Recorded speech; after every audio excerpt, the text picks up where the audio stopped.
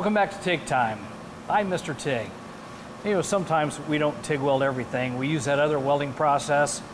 So I've solicited the help of Bob Moffatt, head welding instructor at Cowley County College here in Arkansas City, Kansas.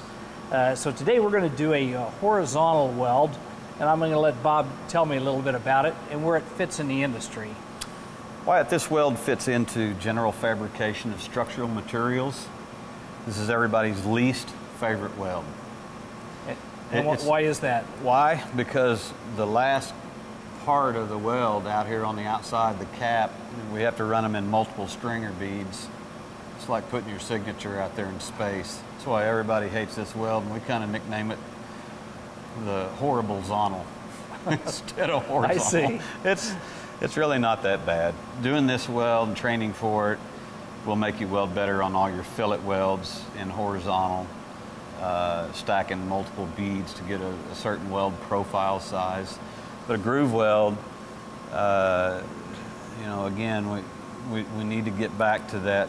What is my reinforcement? What are my allowable tolerances? We don't want to undercut, and we don't want it to be too high, too low. It needs to be just right. It needs to be blended in, just like any other uh, cap weld. The finished weld needs to be a good blended profile, and that's what's that's what's hard to do because you know if we travel too fast, your weld gets narrow. If we travel too slow, it gets too tall and wide. So you know when we when we when we start welding, before we pull the trigger, it's like we should know what's going to happen as we're welding and make adjustments in travel speed.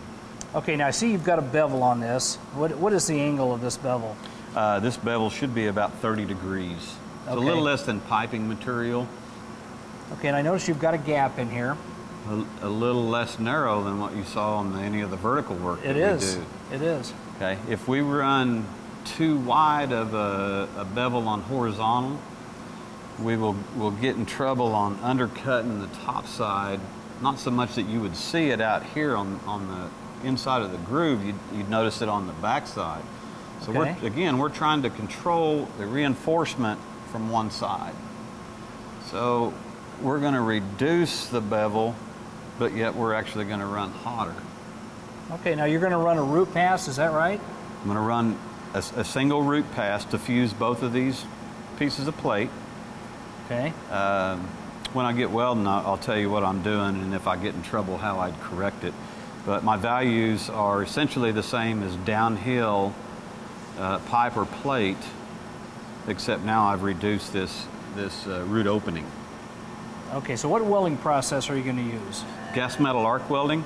Uh, I've got an 035 ER70S6 wire, uh, 75% argon, 25% CO2.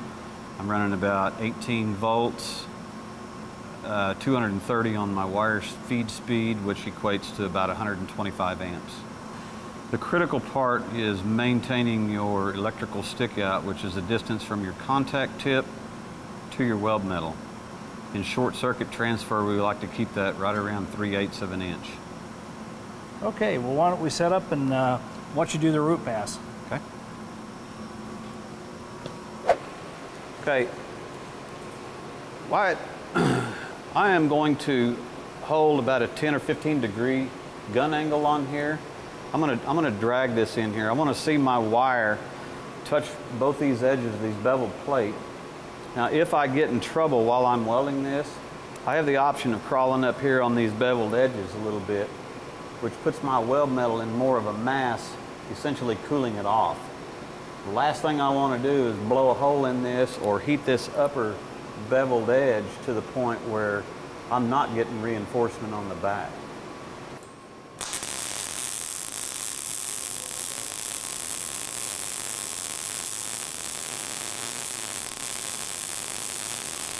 Wyatt, I started this weld uh, keeping the wire right in the middle of this groove.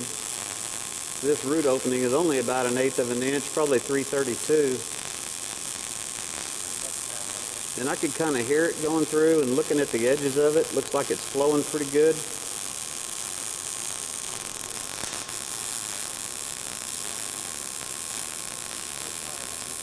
And I'm using a very slight motion up and down making sure that I get into that top edge. I'm not too worried about the bottom edge. Try to stay on the very leading edge of the weld pool.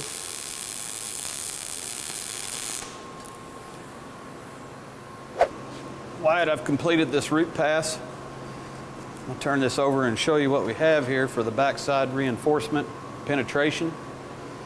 Since we have cleaned this mill scale away from our weld area for a half inch or more, we have bonded and fused into the backside of this plate. We have controlled the amount of reinforcement so that it does not exceed our allowable eighth of an inch. I'm going to take this plate over the, to the uh, grind table and I'm going to grind the deposits of silicone that are on the, the uh, toe of the weld on the other side inside the groove. I need to get those glass deposits out there so that they don't, I don't leave them behind. Okay. Once you do that, you're going to bring it back. I'm going to bring it back, and the next thing I'm going to do is I'm going to put two fill passes in here, one on bottom first and the other on top second. Each time I'm going to clean the glass deposits. You can see some of them in here. They're kind of a dark brown looking, milky looking brown, muddy water brown, I should say. They're kind of an odd looking uh, color. Uh, I, I, really need to get those out of there. This process lends itself to uh, lack of fusion and it really doesn't burn hot enough to get a lot of those out of there. Okay, sounds good.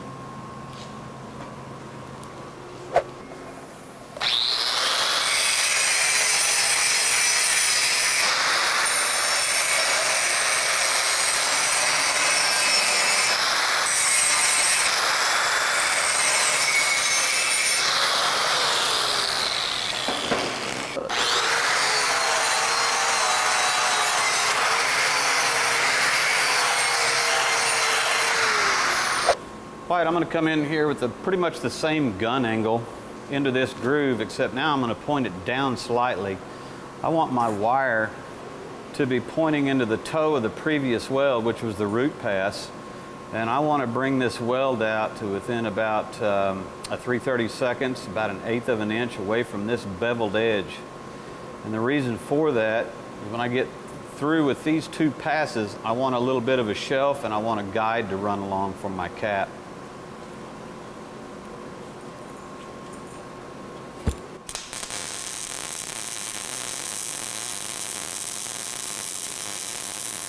I'm dragging this in here just to get some build up, build myself a, a small shelf for this second fill pass.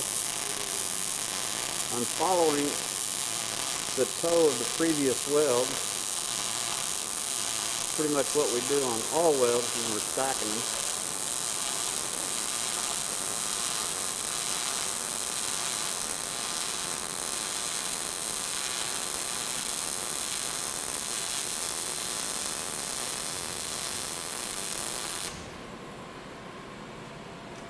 Wyatt, I've put this first pass in here, uh, the first pass of a two-pass fill. And what I've done is uh, I've left myself a little bit of a shelf in here so I can fit this next pass in here. And I've also left the beveled edge on the bottom. I've left about an eighth inch lip on here. And that's so I can, when I start my first pass of my cap, I have some guide to go off of that's straight. I also want to watch the bottom side toe of the first pass of the cap fuse into this plate down here. This first pass is going to set up the rest of my cap passes. So after I get this second pass of my fill in here, then I get to come in here and, and set this first one in here with the weld metal above the plate and the toe fused into this bottom plate here.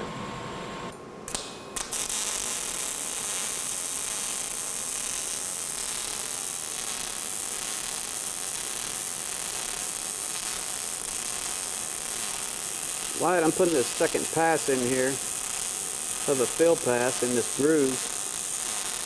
Again, I'm always attacking the toe of the previous weld. I'm going to get my wire down inside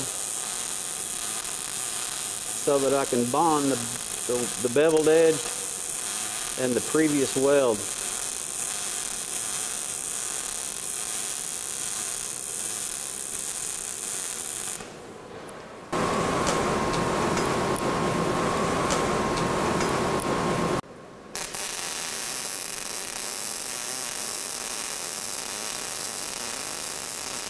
Right, I've got my gun angled again, about 10, 15 degrees backward.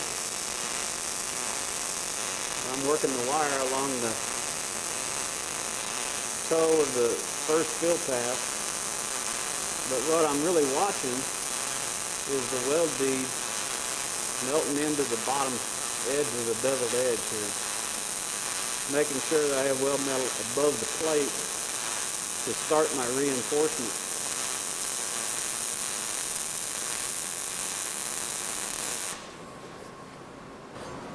If you look along the bottom edge of this, you'll see that it's fused and, and uh, melted into the base metal.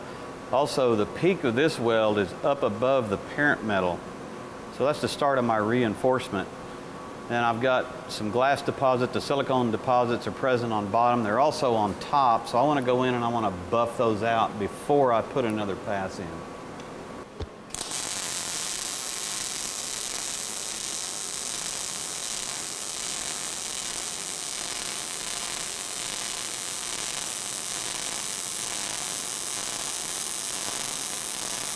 Right, I'm putting this batch in, and not only am I watching the top of the weld to see that I'm not getting into the top beveled edge, I'm watching the bottom of the weld to make sure that I'm tying into the highest point or the peak of the first weld so that these will blend together.